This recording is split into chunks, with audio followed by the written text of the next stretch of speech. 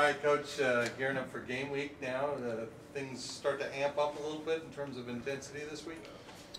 Yeah, definitely excited to to have a, counting game uh, on Friday and also on Saturday. So I think it's um, you know the the preseason's usually uh, about six weeks and seems kind of long. And about the time that starts grinding on and getting old, you start practice, and then practice um, is pretty fast and furious. Just the way that the the way that we're regulated as far as um, not being able to start until about uh, three weeks before your first game ish. Um, trying to put in a lot of stuff fast in those 20 practices or whatever it is that you have before you get going. I think we've probably had about 16 or so, maybe now, uh, somewhere in that range. So, uh, not, not a whole lot of time to to teach everything that you're going to do. And um, but that last week when you we had a scrimmage on Saturday, and then when you kind of turn the page of that next week to actually have a counting game, it usually gets guys' attention even a little bit more. So. Um, should be a fun week. Uh, we've got a, uh, two teams that uh, that will probably be similar to us, um, and, and, two two good challenges down in Texas. So um, if we play good basketball, then we can win two games, and if we play ba- bad basketball, we can probably lose two games. So um, should be a lot of fun for us to see how well we can prepare the next few few days here before we take off on Thursday, and then and then um, by the time we leave here, I'll, I'll feel either really good about our chances to win or really bad about our chances to win, depending on how we prepare. So, I'm um, sure hoping that we start off on the right foot, foot this Monday.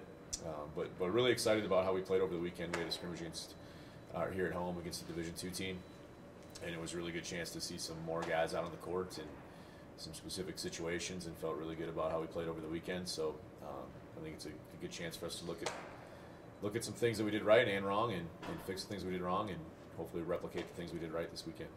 How well have you seen things come together, coach, in practice and in those scrimmages compared to the exhibitions where you guys were kind of on the floor a little bit early? Yeah, no, it's been really good in the last week. We had a chance to talk about specific situations. Um, you know, we played an exhibition game.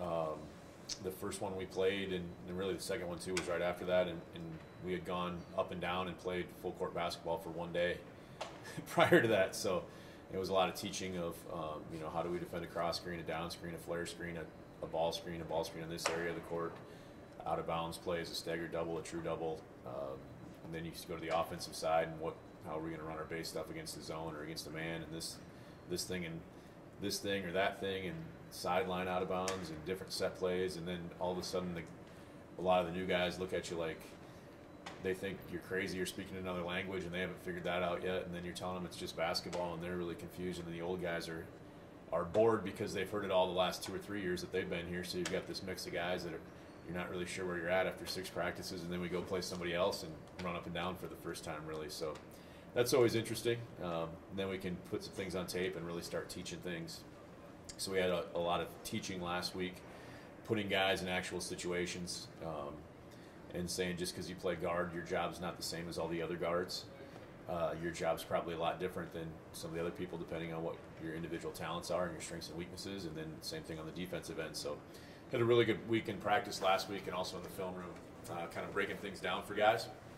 I really thought that they really started to understand why we're doing things in practice after we were able to play those two games, and that's the advantage. You can kind of show them on tape uh, okay, that's why we're doing this drill. That's why we teach it this way. That's why when you do it wrong, it doesn't work.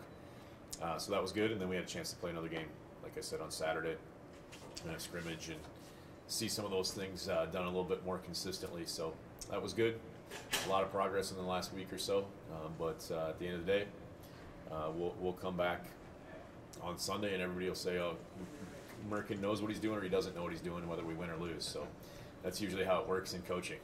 you win, everybody thinks you're smart. You lose, people aren't quite sure about you.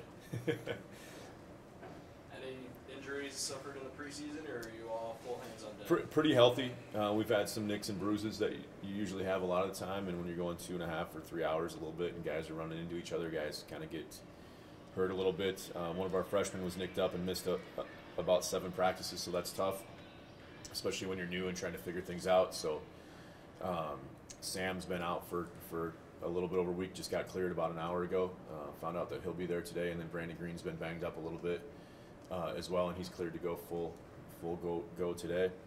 Uh, so it'll be nice. We'll have a full practice squad again. Then we've had some guys sick, and you know it's nice out. And then all of a sudden a little snow falls, and then guys start sneezing and coughing, and then they go to the trainer, and then one of our guys tells the trainer that his throat's all red because he's been yelling so much on defense, and then I'm telling him he's not yelling on defense. So then they're not sure if he's sick or if he's yelling actually.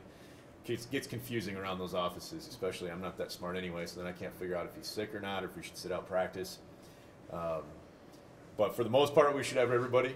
If things go according to plan, we'll have a full roster. We'll take, uh, I think we'll take uh, 12 or 13 guys dressed out down to down to Texas, and we're, we're probably going to have about four red shirts uh, this year. There's still a few guys um, that we're still making that call on. Um, and the nice thing is the freshmen can play in exhibitions and still and still redshirt. It's a good rule by the NCAA.